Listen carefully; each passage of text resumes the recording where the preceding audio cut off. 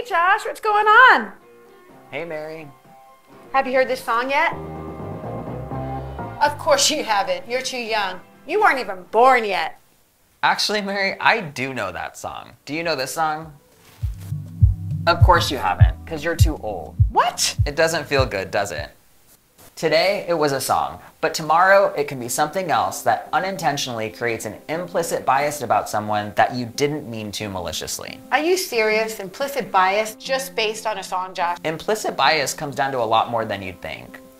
It comes down to prejudging someone based on the perception of who you think they are. Today, it was age, but tomorrow, it can be race, gender, sexual orientation, and more.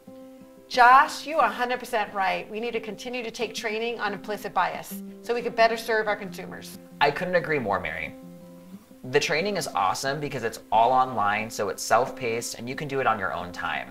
Best of all, every realtor has access to it through their realtor membership at the National Association of Realtors. 75% of Americans make an implicit bias about somebody every single day.